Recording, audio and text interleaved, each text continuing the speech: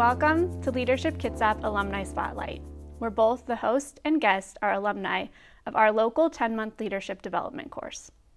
This program shines a spotlight on just one of the several hundred graduates who have given countless hours of their time and effort to make things happen through leadership. I'm your host, Misty Tobin, class of 23, and Chief Administrative Officer at Central Kitsap Fire and Rescue. And joining me today is Greg Platz, Battalion Chief at Central Kitsap Fire and Rescue. Thank you for being here today, Greg. My pleasure. So you are a longtime Kitsap County grad. Kitsap County resident. You are a longtime Kitsap County resident and a graduating member of the class of 2006. I know it's crazy to think that it's almost been 20 years since we, I went through that program, but I moved to Kitsap County in 1996. So yeah. I've been here for a long time. So why did you decide to go through the Leadership Kitsap program? Well, when my wife and I moved to Kitsap County, um, we didn't have any children at the time. Um, we moved to Kingston. We didn't really know many people, and I kind of dove right into the community and joined uh, two different community boards, and then that grew into um, being named to the Kitsap or the Kingston Community Council, yeah. where I was involved. And at that time, I was actually a public relations and marketing executive working for a PR firm on Bainbridge Island. And at the age of 28, I decided to make a massive career change and I became a firefighter and was hired at Central Kitsap Fire and Rescue. So fast forward about five years and I was ready to step into a position of leadership. Unfortunately, in the fire service, that's not an automatic uh, yeah. thing. You have to test, you're put on a list, and then there has to be an opening. And I had been on a list for a, number, a couple of years and there were no openings. And so I was just trying to build my professional development and my resume to be as prepared as possible when the opportunity presented itself. And I had heard about Leadership Kitsap and I decided to apply. And in conjunction with the fire department, they uh, helped sponsor me mm-hmm. and I joined the class of 2006. That's awesome. Um, and they've sponsored a few people since then because I know I went and went through the fire which is kind of how Leadership Kitsap works. Yeah. Right? It's always tell a friend and encourage people that you know who you think uh, would be a great fit for right. the program. And what's what's interesting is that in my class of 2006, and one of the people on our team, our project team, uh, now also works for the department, uh, who is Ken Bagwell, our okay. district's attorney. I didn't know you two were in the same class. Yes, same class, same project. That's interesting. So was we have he our attorney at the time too? Uh, I don't believe so. Huh. So. And someone that works for him now is in the class of 24, oh, and really? I'm the project co-chair. So that's small county. Yes. Everybody, everybody does leadership Kitsap. Right, everybody. And it worked because you got off the list. I was promoted. promoted. during the time that I was in the program, okay. which was kind of a neat uh, full circle moment yeah. for me and the class um, to get promoted to lieutenant at the time. Yeah. So, what's interesting is when you talk to people about their stories, everyone goes in for kind of a similar reason. It seems like there's usually a networking pull or um, a wanting to get promoted or learn some kind of supervisory skills, um, which is great. But I, I feel like when I went into the group, that was certainly one of the pulls, but I learned so much more. What do you when you think back about kind of the stuff that you took away, what are some of like the standout moments? Well, you make a good point that I went into Leadership Kitsap expecting to be trained as a leader, and, and I got some of that, but it was more about um, just being around other emerging and existing leaders and learning from them. So it wasn't so much direct curriculum in school as it was to uh, interacting with other people that had similar um, attributes and, and leadership skills. And that was really fun and very uh, empowering. But I went into Leadership Kitsap, you know, being involved in the Kingston uh, Community Council and being on various boards and, and felt like I had a, a grasp of what the county was all about.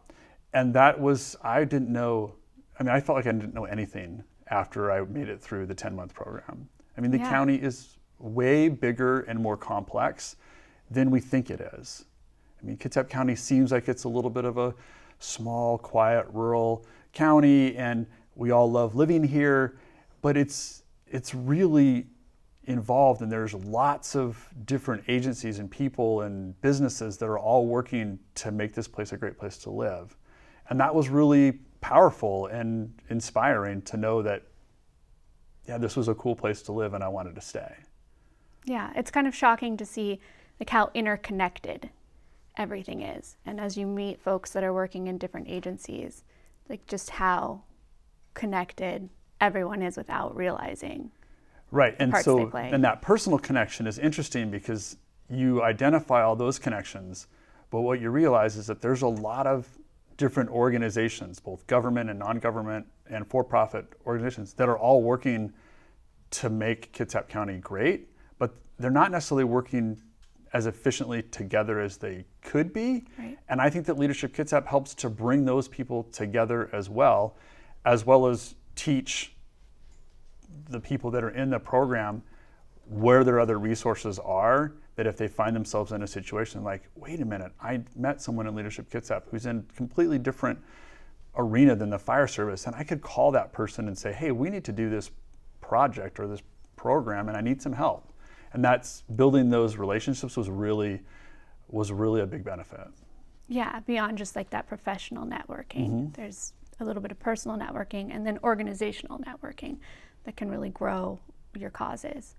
Um, one other part of Leadership Kitsap that's huge is obviously the project. Oh, the project. Yeah. Yes. So it's a small little part. Like it's not really a big thing. Right. You no, get to the huge, orientation and then deal. they tell you about your project. Yeah. It's, it it's was huge. it was a little bit um, it's slightly overwhelming initially. You're you're thrust together with a group of people and then you're put into small groups and you are given a task that you have to come up with something that is impactful and potentially lasting and means something to the people that are going to put all the time in and it works and yeah. it did for me and i'm sure that it did for you um, yeah so the project was very very interesting yeah what did your group choose uh, our project was called hang on kitsap and it was a fall prevention program for older adults in Kitsap County.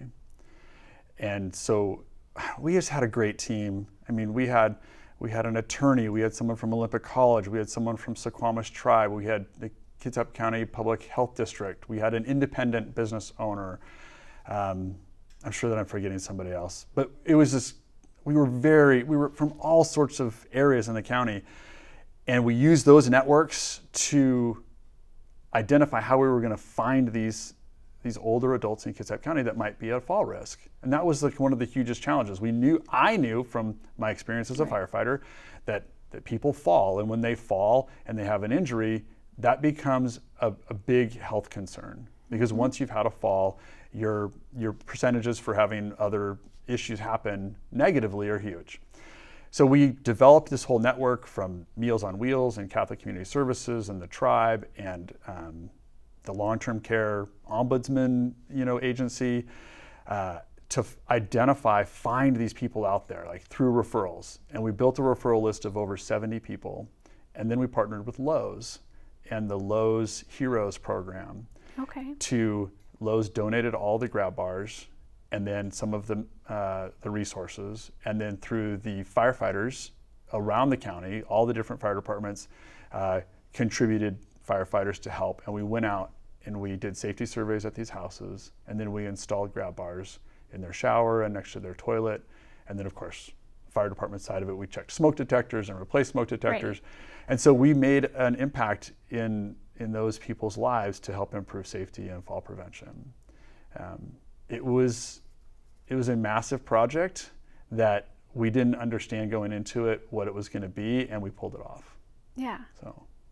And that's so awesome because when you, when you're signing up for the program and like you're getting into Leadership Kitsap and you're thinking you're going in and you're going to learn all these things, the project is like the small part.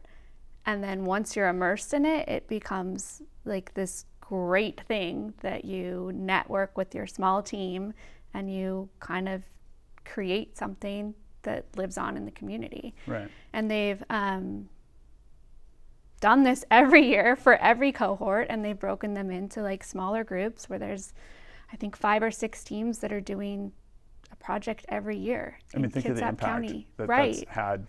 I mean, since 2006. I mean, or that was my class, but in the entire history of Leadership Kitsap, that's a lot of projects and a lot of impact. yeah.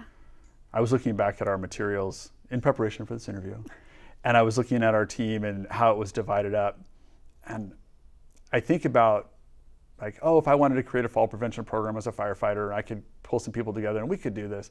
And I looked at the team and like, without legal and without the health district and without Olympic College and, and her marketing savvy and just just the, the people that we put together and it was it was an incredible accomplishment and it's fun to be a part of.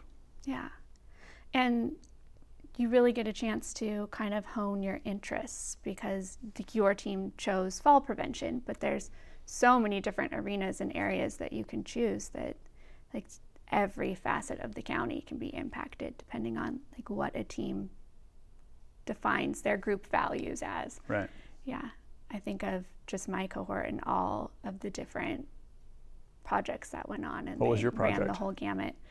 We did the Beyond the Badge project. Okay. that- That's living on today. that's living on today, yeah. And so tell me a little bit more about that one.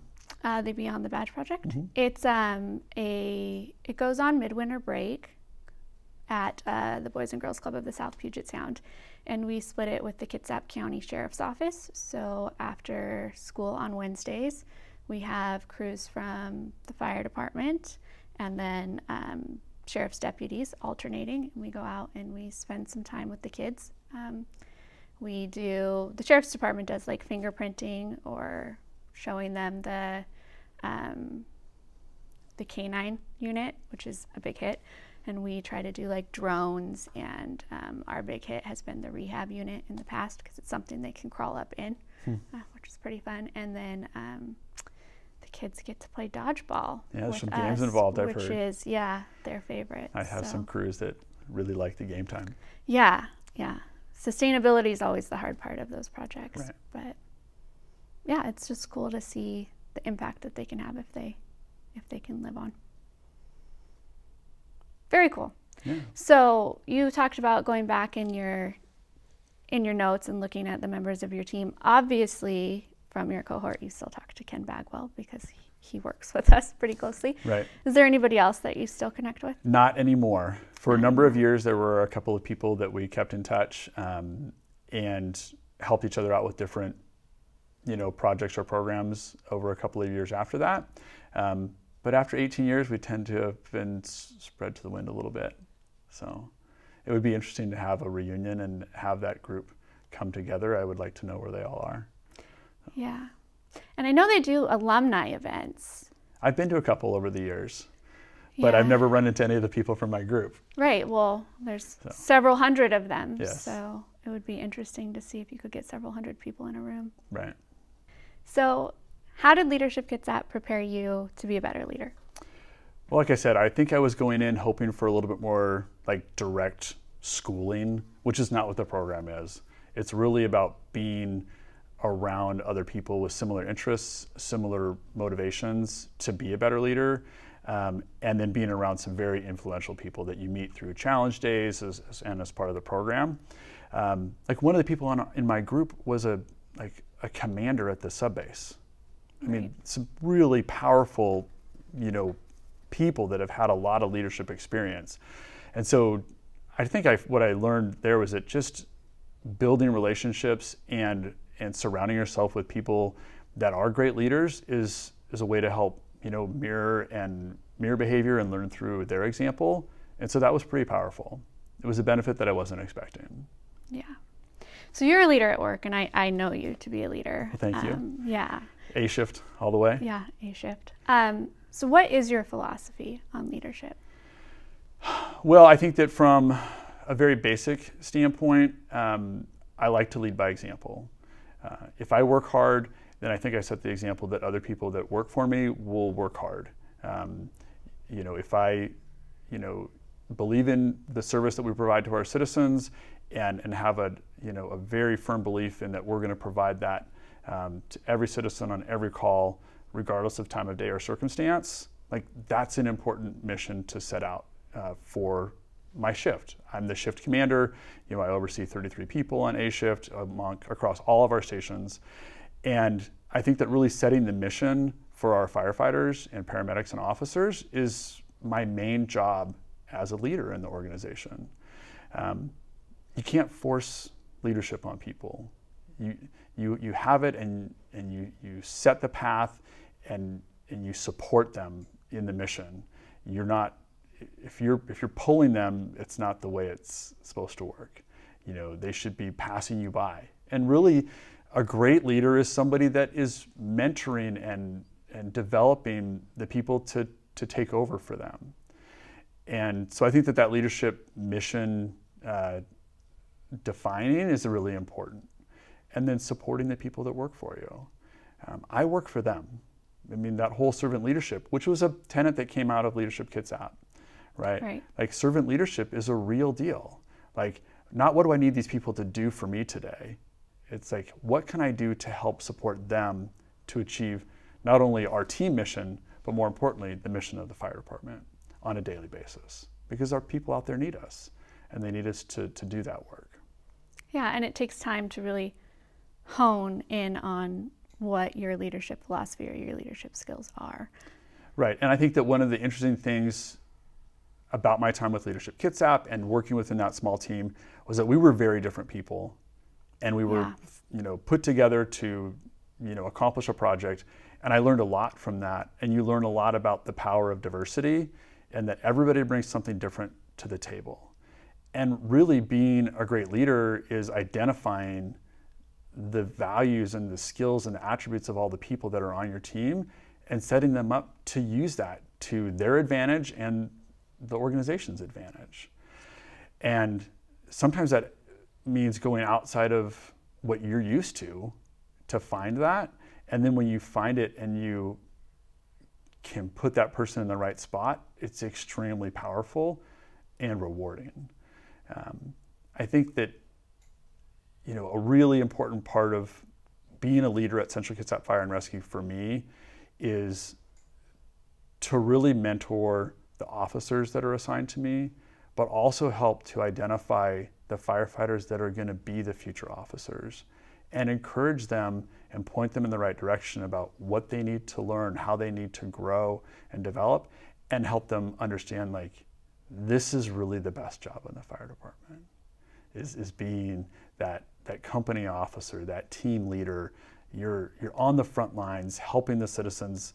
Um, we always like to say, no one calls 911 when they're having a good day Right. right? They call 911 when they need help. And it's not our job to define whether their emergency is an emergency or not. It's their emergency, and we respond. And we are problem solvers, and we go and we take care of those people. And what's, what's really fun is to watch some of our brand new firefighters buy into that, and then you see how they attack these problems and have developed solutions to help these people out. And you're like, that person's going to be a leader someday. And then what can I do to support them and encourage them along that path? And it's, you know, when we pull that all together, then we're going to meet the mission of our department and we're going to make a difference in the lives of our citizens.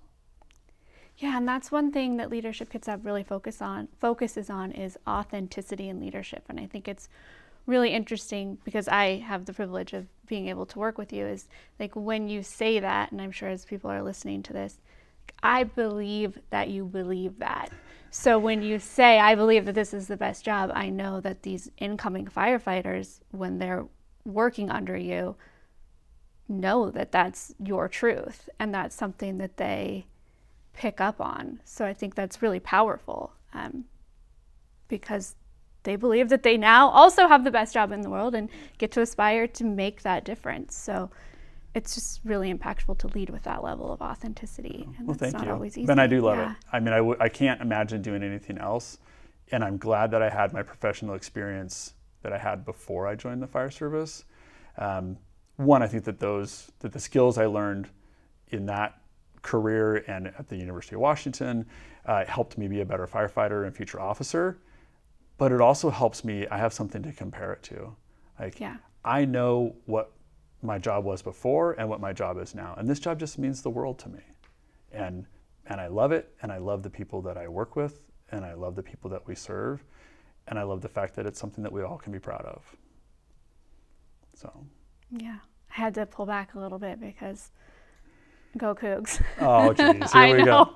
A little bit of the banter there. That's good. Um, no, but you you're right about so you're you're a battalion chief and there is this kind of officer level below you where um, it's like this mid-level leadership um, where there are in the fire service and you're seeing this right now and i'm sure it's happening in other professions where people are kind of making career changes right now where they've done one job for a while and I guess as a society, I would say, maybe I'm being too philosophical, um, folks are starting to make changes because they want to do things that are more meaningful. I mean, Well, we see it all the time. I think that when I joined the fire service, I was an anomaly. Right? I came from a professional world. Um, I hadn't ever lived in a fire station. I was a volunteer at North Kitsap Fire and Rescue for a couple of years as I was going through my career change, but I wasn't the traditional firefighter candidate. Uh, fast forward to 2024, and we have, you know, cellular phone company technicians that are that are switching careers. We have high-level military people that are switching careers. Uh, we have all sorts of different backgrounds that are now choosing the fire service as a way for them to earn a living and and give back to their community in a very direct way. And I think that's that's exactly what leadership Kitsap is. Like, how can I join something and give back directly? And it's pretty cool. Yeah, and I think um, you mentioned diversity earlier, like when you were in your smaller group working on your project, and as we have all of these new people coming in and with different backgrounds and different experiences, um, circling back to leadership really quickly, it's been interesting in Leadership Kitsap specifically having those opportunities to kind of challenge my own thoughts or my own dynamics on how I think things should be or how my own leadership goes. And um, I feel like that's been kind of a critical component of Leadership Kitsap. Right, and that's one of the things that's really interesting. It's like you put seven leaders on a team, like, and we all have to learn to work together. That's where you really challenge yourself, Yeah. and you figure it out, and we all end up getting onto the same page and, and putting together a project that's impactful and lasting. Yeah, and you're surrounding yourself with, you said it earlier, good people, good community leaders. And I feel like at the end of the day, when you have like those same values, everyone's there because they want to make a difference and they want that kind of impact. I agree. Yeah. Okay, so um, I guess we should probably wrap things up. I appreciate you taking the time it was my to talk with us today. Um, thank you for joining us for this episode of Leadership Kitsap Alumni Spotlight. If you want to become a part of a vibrant team working to build a new and continuing source of fine leaders right here in Kitsap County, reach out to us online at leadershipkitsap.org, on Instagram and Facebook. For Leadership Kitsap Alumni Spotlight, I'm Misty Tobin. Thanks for watching, and we'll see you next time.